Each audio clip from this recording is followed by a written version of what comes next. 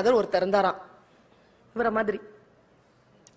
இவரை மாதிரி இல்ல. இவரை மாதிரி எல்லாம் யாரும் இருக்க முடியாது. இன்னொரு குரு. ஏன்னா இறைவன் ஒவ்வொருவரையும் எப்படி படைக்கிறாங்க? வாசிச்சா ஒரு ஆசிரமத்திற்கு வருகிறார் ஒரு குருநாதர். ஆசிரமத்தை தன்னுடைய சீடர்களிடத்துல விட்டுட்டு போயிட்டார். அது இந்த மாதிரி ஒழுங்கா இல்லை அந்த ஆசிரமம். அடுத்தடுத்த கட்டத்துக்கு வளரல. உள்ளுக்குள்ளேயே சிக்கல்.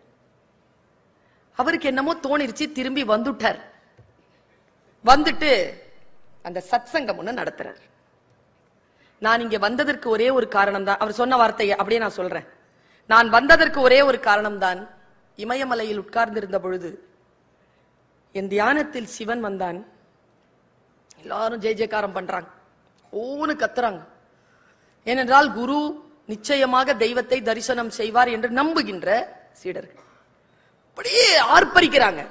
அவர் ஒரு வார்த்தை சொன்னார் என்னை தரிசிக்க வேண்டுமா உனக்கு? ஆமாம். உன் ஆசிரமத்திற்கு போ. அங்கே இருக்கக்கூடிய நூற்றி முப்பது சீடர்களில் நான் ஒருவனாக இருக்கிறேன். முடிந்தால் கண்டுபிடி. என்று சொல்லிவிட்டு போயிட்டான். அப்படின்னு சொல்லி வந்துட்டு நூத்தி முப்பது பேரையும் நிற்க வச்சு எல்லார் காலிலையும் விழறாருங்க குரு. எல்லார் காலிலும் விழுகிறார். விழுந்து சிவனே போற்றி சிவனே போற்றி சிவனே போற்றின்னு சொல்லிட்டு உங்களில் யார் சிவன் என்று அறியக்கூடிய அந்த ஞானம் எனக்கு இல்லை. ஆனால் உங்களில் ஒருவன் சிவன். அவனை நான் வணங்குகிறேன் சொல்லிட்டு ஆசிரமத்தை விட்டு போயிட்டார். அன்றிலிருந்து அந்த ஆசிரமத்தில் குழப்பங்கள் நீங்கின. ஒருவரை ஒருவர் பார்க்கின்ற பொழுது இவன் சிவனாக இருக்கக்கூடுமோ? இவன் சிவனாக இருக்கக்கூடுமோ? என்கின்ற அச்சத்தில் என்கின்ற அருள் பெருக்கெடுப்பில் அந்த ஆசிரமம் மிகச் சிறப்பாக வந்தது என்று சொல்லிவிட்டு அந்த செய்தி அனுப்பி அவர் சொன்னார். இந்த மெசேஜை வாசித்துக் கொண்டிருக்கின்றவர்களுடைய காலிலும் நான் பணிகிறேன். அவர்களில் கூட ஒருவர் சிவனாக இருக்கக்கூடும். நாம் பார்க்கக்கூடிய அத்தனை பேரிடத்திலும் தான் அந்த அருட்பெரும் ஜோதியின் அந்த அருட்பெரும் கருணையின் அந்த பேராற்றலினுடைய துளி இருக்கிறது. ஆனால் அதை வெளிப்படுத்தக்கூடிய வாய்ப்பு நிறைய பேருக்கு இல்லை. அந்த வாய்ப்பை வெளிப்படுத்தக்கூடிய களம் தான் இத்தகைய பயிற்சி களம் என்று நான் கருதுகிறேன். ஒரு பாம்பு ஒண்ணு இருந்துச்சாங்க. உங்கள் மனதில் ஏதேனும் மாற்றங்கள் வருகிறதா என்று பாருங்கள். ஒரு பாம்பு இருந்துச்சான் திடீர்னு ஒரு சமையல் அறைக்குள்ள நுழைஞ்சிருச்சு. அதுக்கு தெரியாது. சமையல் அறைன்னு. போயிட்டே இருக்கும் பொழுது ஒரு கத்தி அதனுடைய உடம்ப கீறிடுச்சு. கத்தி கீறின உடனே திரும்பி பார்த்துச்சு பாம்பு. கத்திய ஒரு முறை முறைச்சுது. என்னையா வெட்டுனேன்னு வந்து கொத்துச்சிங்க. வாய் கிழிஞ்சிருச்சிங்க. ரத்தம் வர அப்படியே அந்த கத்திய பின்னி பெனஞ்சி அப்படி ஒரு போராட்டம் போட்டு துண்டு துண்டாயி செத்து போச்சுன்னு ஒரு மெசேஜ் கோபம் என்பது யாரோ ஒருவன் செய்யும் தவறுக்கு நமக்கு நாமே கொடுத்து கொள்ளும் தண்டனை. நமக்கு நாமே கொடுத்து கொள்ளும் தண்டனை. நான் யோசிச்சு பாக்குறேன் தர்மம் செய்யணுங்க. உன் மன வெளிச்சமா சொல்றேன் தர்மம் செய்யணும் ஐயா.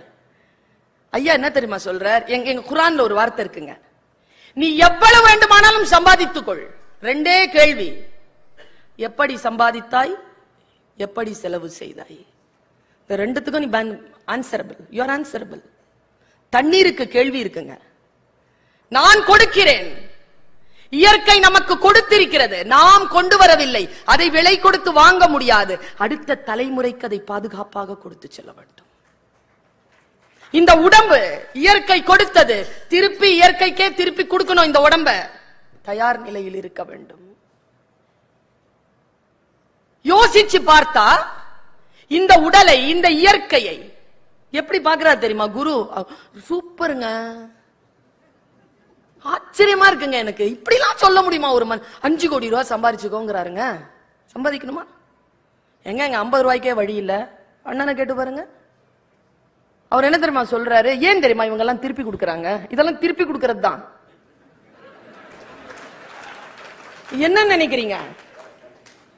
இதெல்லாம் திருப்பி கொடுக்கறது தான் வேதாத்திரி சொல்லுகிறார் மகரிஷி சொல்லுகிறார் எவ்வளவு வேண்டுமானாலும் இந்த சமூகத்திடம் இருந்து நீ சம்பாதிது. ஆனால் உன்னுடைய உயிர் மூச்சு அடங்குகின்ற அந்த வினாடிக்குள் எவ்வளவு சம்பாதித்தாயோ அதை திருப்பி கொடுத்து விட்டு போ என்று பேசுகிறார்.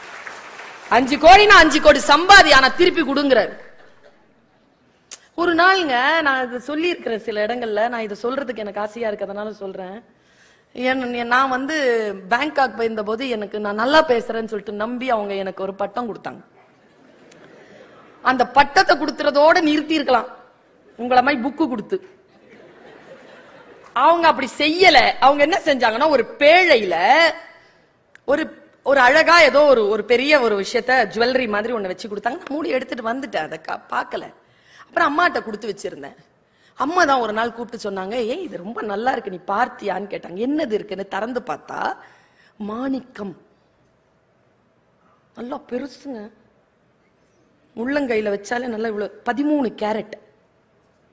சரியா இருந்தது. அம்மா இவ்வளோ பெருசு கொடுத்தா நான் பார்க்கவே இல்லையம்மா நான்.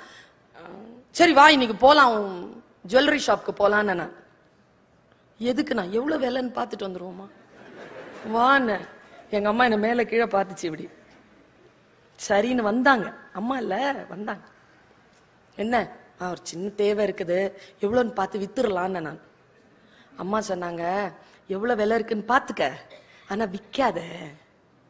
ஏன்னு கேட்டா ஏய் யாரோ உன்னுடைய பேச்சுக்காக கொடுத்தடுதுடா. இதை போய் விற்கிறேங்கிற அது என்ன காசு வரும்னு சொல்லு. நான் நான் கொடுத்துக்கிறேன். காசு நான் உனக்கு கொடுக்குறேன். ஆனால் நீ இது உங்ககிட்டயே இருக்கட்டும் நாங்கள் சரி. போய் விலை பார்த்தா கண்டிப்பாக ஒரு சென்ட் வாங்கலாம். நல்ல விலைங்க. நான் என்ன பண்ணேன்? அம்மா அம்மா நான் என்னம்மா பண்ண முடியும்? ஏதாவது ஒரு ஜுவல்லரி மாதிரி ஏதாவது செஞ்சுக்கோப்பா நாங்க நீங்கள் நம்ப மாட்டீங்க. மூணு வருஷங்க உழைச்சி எத்து எப்படிமா சேர்க்கறதுன்னு? அநியாயமா செலவு பண்றத நிறுத்து.